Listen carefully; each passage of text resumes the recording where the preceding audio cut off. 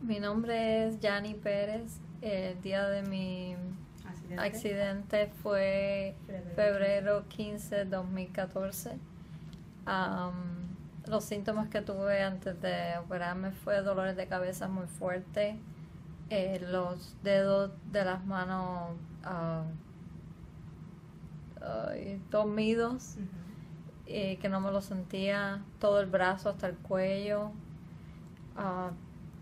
De- día, después de la cirugía, que el día de la cirugía fue en febrero de 2015, eh, me siento muchísimo mejor, eh, puedo hacer más cosas que no hacía antes, ya no me siento lo- los dolores de cabeza fuertes,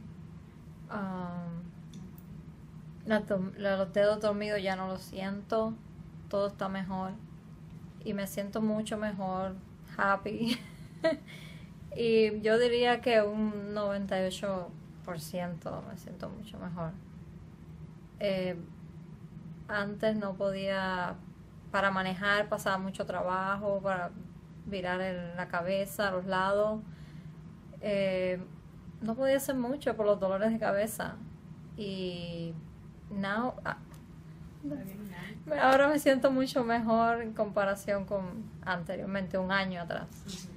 Y si vol- tuviera otro problema, sí volvería a hacerme con láser.